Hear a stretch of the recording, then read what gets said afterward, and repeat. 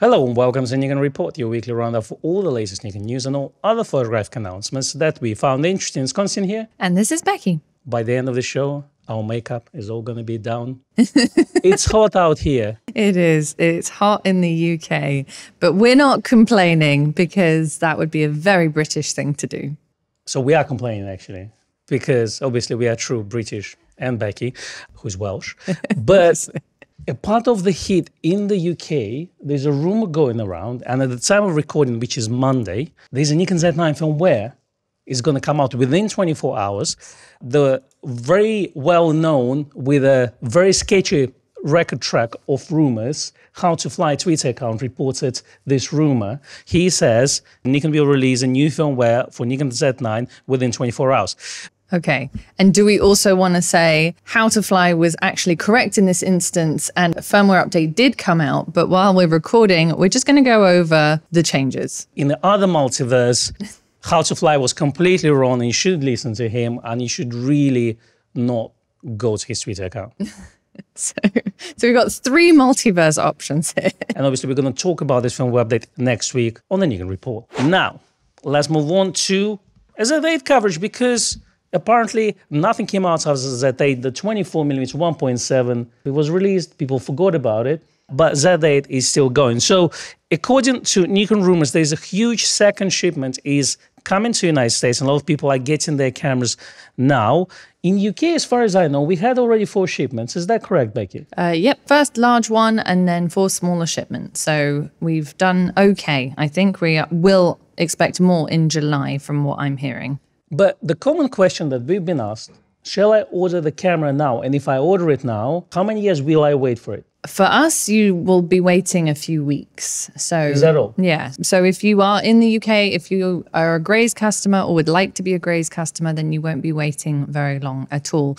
In fact, we've had a few people who put in their pre-order who then have been allocated a camera who've gone, oh, that was fast. I'm not ready for it yet. So uh, the funds are not there. It's an interesting problem, nice problem to have, I would say, having more stock than we expected. And long may that continue. I hope for our US and Canadian viewers and everywhere else that you get your Z8 very soon. So, do you think they can actually learn from Z9 launch and actually produce more shipments? I have a feeling that's what happened, yeah. yeah. Well, I think it's a huge achievement for Nikon. And obviously combined with improvement in logistics after the COVID. So I think it's all kind of multiplied into the results we have now where people don't really need to wait for too long for their cameras. Now, talking about Japan, apparently the current wait in Japan is about three months. That's according to Asobinet, who reports that the main dealers like Yodobashi cameras and MAP cameras have those expected delivery days on their website. So if you're in Japan, three months. If you are in UK and Europe, it seems like it's two to four weeks. And if you're in the United States, it's about a month or so. All right. Next up, AlphaGuard released a Z8 camera skin, the yeah. first of its kind. And those are already available online. So if you would like to customize your Z8, and these are not the silicon skins that we're talking about, we're talking about more kind of like a vinyl skins that you kind of attach yeah. to the body of the camera. So if you want your camera to look like this or like this, then we won't judge you really. You can order it directly from AlphaGuard website. It's a judgment free zone. That's right. Now, there are promotions on new Nikon items in the UK, Europe, and also Canada are doing some sales at the moment for our Canadian fellows. So we have summer instant savings here in the UK and Europe, which continue until the 24th of July. And then Canada have rebates. Yeah, and the United States have rebates. There's a lot of rebates really to be listed, but we're going to put them on the screen for you.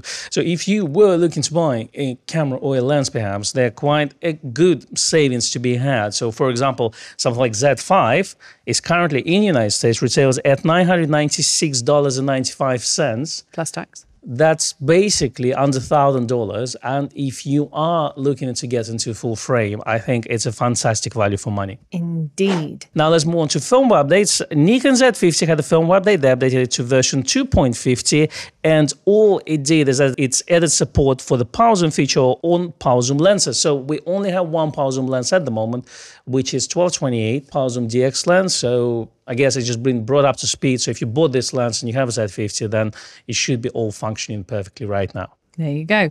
Now, Nikon also released firmware updates for the WRR11A and WRR11B wireless remote controllers.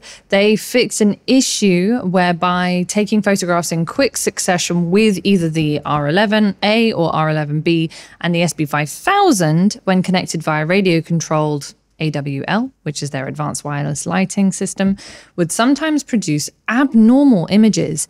Now, this is unusually a firmware update that you can do yourself, whereas back in the day, you used to have to send those little remotes off to Nikon for an update. However, unfortunately, those units are discontinued in the UK and Europe, so I don't totally know when or if we will ever see anything like it again. Absolutely. You know what else was discontinued or rumored to be discontinued? Mm. Apparently, some Nikon filters, which is called Arcrest, which we haven't seen in UK anyway. No, because they are limited distribution for Japan and apparently the USA. And even Matt Irwin did a review on these, and we had a lot of customers say, "Oh, can you get the Arcrest filters?" But we can't, unfortunately, over here. So those were launched back in 2017, and they're high performance protection filters that suppresses reflections, but also they were discontinued in Japan, or at least rumored to be discontinued, all sizes now, and that comes from Asobinet. Who knows? Okay, it's a bit of a weird one that because we never saw the filters in the first place. So. That's right. So you can't discontinue something that hasn't been released here. Doesn't doesn't affect us. Speaking of original releases, yes. Nikon apparently officially announced a 24mm 1.7 lens in Japan last week and is due to be shipped on 23rd of June.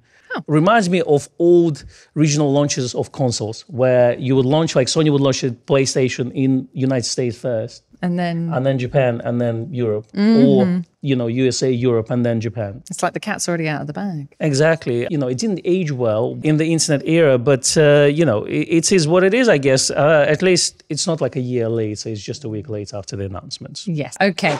Next up, the latest DxO optics modules now support the Z8, which is fantastic. So if you use DxO software, then you can now have support for the 800 mil with and without all the Z converters. That's true. So if you do use DxO software, do updates uh, them by their website. Now, since there are not many news around, so we're going to talk about reviews a little bit. And E14 published review of Nikon Z8 and so here's what I think is good on Nikon Z8. Okay, so the things that they did like were the fact that it's top class quality throughout, superb range of lenses, bristling with features for stills and video, weather sealing to pro standards, the fact that it's got VR in the body, excellent EVF with no blackout, fast and responsive, vibration free electronic shutter, very important at those higher resolutions, true hybrid camera that switches easily between stills and video, less expensive than Z9, but with most of the features, and the fact that it also has SD card compatibility. I like how they put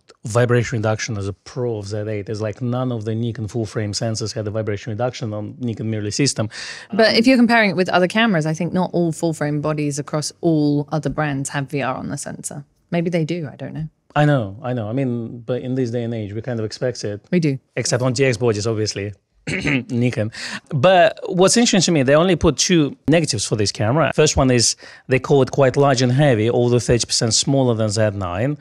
And again, from one of those points, I think that a lot of professionals did ask for a bigger body. Mm. So I don't know if they ask for heavier body. They definitely ask for the physical bigger size Want of the body itself. Obviously, my large hands, the pinky was hanging all the time, and uh, that was a big issue. It was a deal breaker. You know, I couldn't take pictures without the cameras. You know, so literally didn't take any pictures before the day came out. So don't know what I did without it. Um, you know, but the second one was the battery life, which is fairly short. Now Yes and no. I think it depends on what you're comparing it with. Uh, to be honest, we've done loads of tests on battery life performance, and we haven't yet gotten to a point where we feel like the battery life is too short. We've done numerous shoots, we've done video with it uh, across several days, thousands of shots. Obviously, the the Z8 battery and all mirrorless batteries really are more dependent upon how long the camera is functioning for rather than number of shots. So whereas with a DSLR, the battery sort of lasted even if you accidentally left the camera on for a few days, weeks, months. Yes. and then it just doesn't power up because the battery is dead. Internal battery is dead. However, with the with the mirrorless cameras, and this is across all mirrorless cameras, if you leave the camera on and you don't have the automatic power off set up, then yes, it will eventually drain itself. Yeah, so since we've got our unit So me and Becky now will be exclusively shooting on Z8 for Proud our videos. I kind of went through the menus, and there is a battery saving feature for stills photography ah. there. Don't know exactly what the difference is, but I did turn it on. Okay. So we're going to monitor it, and hopefully we will see the difference between it turned on or turned off. We'll test it. But yes, if you compare it to Z9 battery, which is A, very expensive, B, a lot bigger, and C, a lot heavier, then yes, of course, Z9 battery can last forever. Well, not, but we know people shooting something like 4,000 shots with it and it's still going strong. Again, as Becky mentioned, you can take 2,000 shots in a let's say fast frame rate shooting on Z8 and the battery will be still at 50% because it's not about how many pictures you take but it's actually how long the camera is operating. So if you're just single shot photographer it may last you less because obviously you, your camera's fully turned on and you're just walking around the town looking for that shot. So keep that in mind. But overall i think it's a again another positive review of z8 if you were contemplating on getting z8 then yes, it's one of those reviews that will definitely convince you to go ahead and order one. Now, there's a YouTube review by Morten Hilmer who basically stole your video and shot some macro photography with Nikon Z8. How ah, dare I think you, Becky, should feel personally attacked. I don't feel personally attacked. The more the merrier, but we should definitely do a Z8 macro video. So Morten Hilmer says two great custom settings for macro photography specifically. That's on his YouTube channel where he's using the Z8 specifically for macro. We are absolutely, without a doubt, going to be doing that. Just so you know, I'm I am doing looking forward to that. that. Yes, he is. now, we also did a review of a Nikon Z8 as well as the 85 1.2, which wasn't really a review of 85. Uh, No, it wasn't really a review of the 85 because we just kind of threw it in there and we took lots of shots with it. let's call it hands-on on 85 Z1.2, but a review of Nikon Z8. So we had a basketball shoot with a Lamar from Survivor by Zine Media and a beautiful model Khadija. Have a look at that because it's a long one, but we really enjoyed shooting it. Yeah, and we had some interesting conclusions to draw. Lamar is a Z9 user by trade. He uses his Z9 for everything. And so just being able to also see how he, who is a working professional, found the Z8 by comparison. As he said, not to give you a spoiler or anything, but as he said, it's like, you know, I don't feel any learning curve picking up the Z8. And he also really liked the balance of the 85. We took some shots with the 85 1.2. We will have a full review out on that one in a couple of weeks' time as well. Exactly. And also the bonus of that video as well that Lamar is actually American, so he speaks the English that you can actually understand. There you go. Next up, we have Nikon 400mm ultimate lens comparisons by Wildlife inspired with Scott Keys. And what does he compare? Well, he compares all the 400 mm lenses from Nikon Z lineup. So it's 400 to 2.8, 400 to 4.5, and two zooms like 100 to 400 and 70 to 100 2.8. I guess with a two times teleconverter. Presumably. We actually did a video on 100 to 400 uh, versus 70 to 100 with two times teleconverter. So if you haven't seen that, definitely check this out as well because there's some good photographs of deer in there. There are. And last but by no means least, we have the Nikon Z camera lineup comparison, which to buy, who for, an overview by Matt Irwin. Extensive video where Matt goes through all Nikon current Z cameras and tells you which one is good, which one is bad, and which one is ugly. Very useful. Spoiler alert, all of them are good, but if you don't know which one to get, that would be a good video that will just guide you through the whole range of Nikon Z cameras. Now, since it's been a slow week and there are not many news out, so we need to pad our podcast because you like our podcast to be lengthy for at least an hour or two. So, what we decided to do is do a point of discussion, something that we do every now and then. And today, we're going to talk about owning a several camera systems. Yes, I think this comes about based off of a picture that I put on the internet, on my socials, of one of the other cameras that I own that is not a Nikon. And I had a few direct messages that freaked people out, which was very, very funny because we've never made it a secret that we own multiple cameras. And and to be fair, I actually don't own any digital cameras that aren't Nikon. Yeah. There's no Nikon medium format camera. No, there's no Nikon medium format camera, and I happen to have the opportunity to buy a really, really nice condition 1950s Leica M2, not at a bank breaking price. And I thought, you know what? I've never owned a Leica. I Yeah. quite fancy one of those. Who needs a house where you can buy a Leica? I would say it was nowhere near the cost of a house. It was very much a bargain. And I put a picture of that. Now, the thing is, I would love to own a Nikon rangefinder, but hmm. A, every time we get one in the shop, someone buys it. and B, they're actually, even the Nikon rangefinders that we've had in were more expensive than the cost of my Leica M2. Yeah, so basically, in the absence of ultimate rangefinder, we have to get by with Leicas. And it's nice. In fact, I think it was because I had seen Thorsten Overgaard, who is a Leica ambassador. Mm. Some came up on my socials, and he does these very kind of like everything is black and white, and everything is kind of edgy and different. And he runs these classes and stuff. And I must have had an ad for it, and I was like, oh, why is he a Leica ambassador? Da da da. One of my friends had been to one of his workshops, and I thought, oh, owning a Leica would be cool. I had another friend who bought a Leica. He's a wedding photographer. He normally uses Canon, but he bought a Leica for one particular job because he charges whatever, like 10 grand a wedding or something like that. He's like, I'm just going to buy a Leica for this one job. I want his job.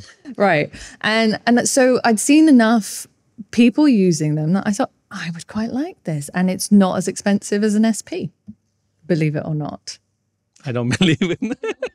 It wasn't. It wasn't as expensive an SP. I know, I know. Uh, so so anyway, the the point is that I have multiple film cameras from across many many brands. I have a Pentax 6.7. Obviously now I have the Leica M2. I still have my Nikon film cameras, including an L35 AF and the FM3A.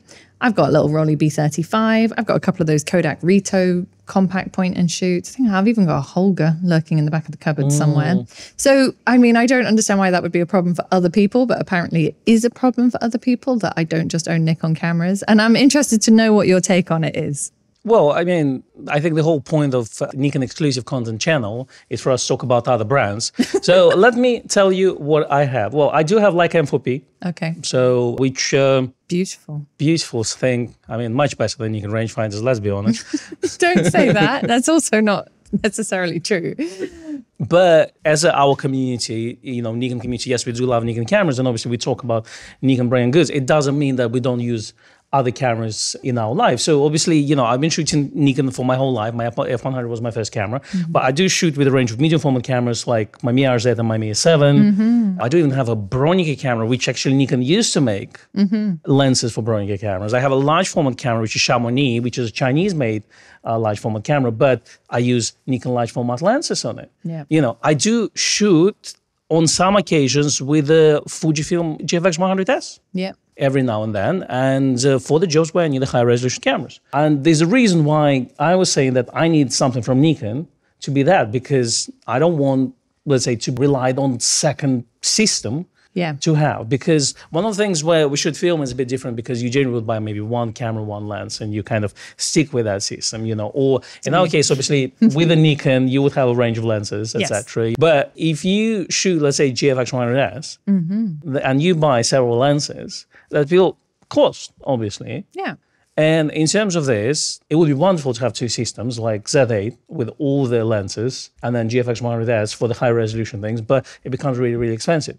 Yes. And I also think that by owning different systems, you kind of you learn where different camera brands have their strengths and weaknesses. I know we have several viewers, for example, Unless that, it's Sony and Canon, but otherwise, yeah, we agree. I know that we have several viewers that actually own multiple systems Yeah. uh, professionally and they use them for different reasons. We have people who have Hasselblad systems Yeah. alongside their Nikon systems. Obviously, cost is always thing. None of my cameras have cost me a huge amount of money. Like I've been very conscious, budget conscious when I bought my film cameras.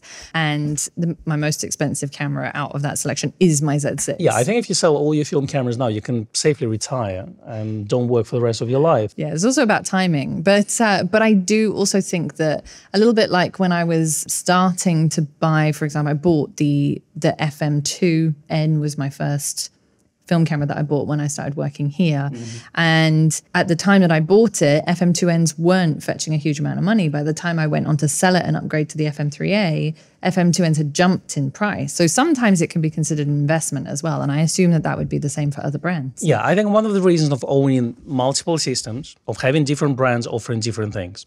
Now, if you look at Nikon, Nikon effectively competes with Canon and Sony directly, one to one. Yeah. So I don't really see a point of let's say owning a Nikon camera and let's say having a Canon system or Sony system. And in real life, you probably won't see that. You know, however, if you start to look, let's say for digital equipment, yeah, if you start to look at uh, something like GFX system from Fujifilm, and I don't think that's their let's say APS-C line, XF, so something like XT5, etc. Like hmm. I think they're competing with the Nikon full frame system directly. Which in my case, I'd rather go full frame. But once you start to look, look at the medium format mm-hmm. and ultimate resolution, high dynamic range, that's something that Nikon doesn't offer. Right. And that's where GFX system or Hasselblad system comes in. Yes. Obviously, it does cost more, but for professional photographers who need those features particularly, and those obviously cameras won't compete with Nikon on autofocus speed, on f- frame rate. Let's say for sports and action, uh, Nikon system will outperform it. Yes. But for these type of shoots where you need a high dynamic range and resolution, GFX system or Hasselblad system would be a very beneficial. Very similar with a rangefinder approach. You know, so for some of you who like rangefinder system like me, I've started with M7 and I didn't look back. This is my favorite camera and probably the most used camera right now. Mm-hmm. That led to me to look into Leica. Right. And again, I got M4P at the same time as you did. Mm-hmm. And this is what I use for my street photography right now. This is the camera with the 28 on. yeah. And it's literally, that's all I shoot with it. Mm-hmm. I don't shoot anything else with it. it. It's basically, it's with me. 28 is glued to it. Yeah. The Voigtlander 28 Ultron is superb. And I'm not going to go and shoot, let's say, professional work or some like interior shot with it. You No, know, sure. You need to have an Nikon system for that. Yeah. But I think that's the reason why you would look into different systems because you can't have an ultimate camera per se that gives everything to everyone. There's always complaint about something. Z8 is not big enough as Z9. The battery is too small. Z9 is too big and too heavy. Or, you know, so it's like there's not a perfect camera for anyone, you No. know. And if you start to look at this, it makes sense to get certain cameras and obviously being in a position to be able to get certain cameras. Yeah. It's nice to have. And uh, what we want to ask the people in the comments below is say, do you own a multiple brand cameras or systems? Not necessarily like three, five lens per system or something like But let's say, do you own Nikon and some other brand as your maybe second camera or as your potentially a backup camera or fun camera? It's a good question. And I would add to that if you do own multiple systems, do you have them for different purposes and different jobs like we often do? Like if we're going out somewhere where most of our digital equipment is very, very heavy, I'm not also then going to carry a Pentax 6.7 with me. But I do. I do carry my Mamiya 7. I know you do. Sometimes I have done that. I have carried my Pentax with me on shoots where I've got six cameras in my bag by the end of the day. And I think for me, the two systems that I have the most lenses for, Nikon 100%, I have more lenses for my Nikons than any other camera system. And then Pentax, I've got like four lenses for. And everything else is either built-in lens or one lens for my Leica M2, which is the Voigtlander 40mm f1.2, which is very nice. And I would just be interested to know if our viewers and listeners also have a similar kind of idea of, well, I have a camera for this job and then I have a camera for this purpose. And I don't mind having multiple brands as and when I can get hold of them, particularly if you can find one at a bargain. I did get asked on Instagram, actually, after I'd posted that picture, someone said, Oh, are you going to do videos on your other cameras? I'd love to see a video on, you know, the other systems that you own. And obviously, we wouldn't necessarily do that on our YouTube channel, but we did do a medium format film video. We did. We did. We did. It was short, it was sweet, and obviously Nikon don't produce any medium format cameras and never did, so we couldn't talk about those. But once in a while, once in a blue moon, I think it's okay to venture out. Maybe we'll do a comparison between the SP and the Leicas. Absolutely. At the end of the day, while this is a Nikon only channel, we also photographers ourselves. yes. And we love to take photographs with whatever cameras we have more than anything else. And I hope you share this passion with us. As do I. Do let us know in the comments below. Let us know. And that's a wrap. Thanks for joining us this week. Yes, thank you very much for watching and or listening. Please give us a like and a subscribe. If you're on YouTube, give us a follow, rating, review, etc. If you are on Spotify or one of the other podcast platforms. Yeah, let me name the other two. It's uh, Apple Podcasts, uh, Amazon Unlimited, Amazon Music, And there's YouTube as well. Yeah, I'm glad you asked. Apparently, in the United States, there's a podcasting available on YouTube Music. Hopefully, it will come everywhere else in the world. But if you're United States and you would like to listen us instead of watching, then we are available there as well. Do leave us reviews and ratings there because it's important for this podcast to grow. Yes, and if you'd like to attack me on the internet for my choice of cameras, you can find me at Rebecca underscore Danese on Instagram. Let's be honest, it's a wonderful choice of cameras. you need my Mia 7 though. I do. I need a Mamiya 7 in my life. You can find the shop at Nikon at Grays. And I'm at Konstantin Kochkin. We do publish the samples of the images that we take of the lenses that we reviews on this channel. So if you want to have a look at those, definitely go there. And we will see you next week. Goodbye. Bye. Stay hydrated. Stay hydrated, folks. Don't melt into a puddle on the floor like us. I think I'm overheating. Uh, yeah. I mean, we're talking about other brands on this podcast.